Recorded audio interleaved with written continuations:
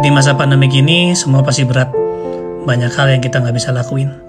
Tapi gue belajar untuk lakuin hal yang sederhana, yaitu untuk menghargai setiap keluarga gue, berikan apresiasi, dan cium mereka satu-satu.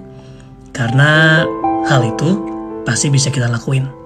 Sederhana kok, kalau kita nggak bisa menerima sesuatu, yuk kita bisa kasih sesuatu ke keluarga kita. Karena dengan memberikan cinta, pastinya kita jadi lebih bahagia.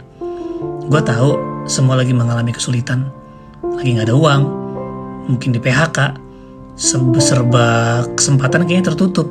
Tapi tahu nggak, ada kesempatan yang selalu terbuka, yaitu untuk memberikan cinta kasih kita kepada orang-orang yang kita sayang. There's always a chance to give love to your loved ones. God bless you guys.